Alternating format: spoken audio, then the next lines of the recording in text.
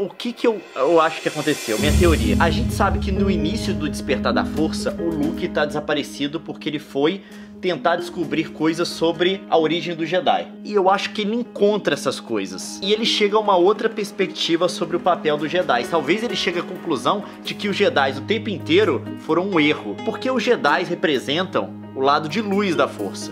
E você tem outros seres, principalmente os Sith, que representavam o lado escuro da força. Mas talvez o tempo inteiro o que eles tinham que fazer não é defender um lado, mas era simplesmente Equilibrá-los. e eles fazem referência a isso na série um monte de vezes. O Anakin era o prometido pela profecia que ia ser o cara que ia trazer equilíbrio pra força. Mas vai ver que era isso. O ponto não é ser o Jedi. O ponto é, garantir trazer o equilíbrio. E será que é a Rey que vai conseguir isso? Ou é o Luke? Eu não sei.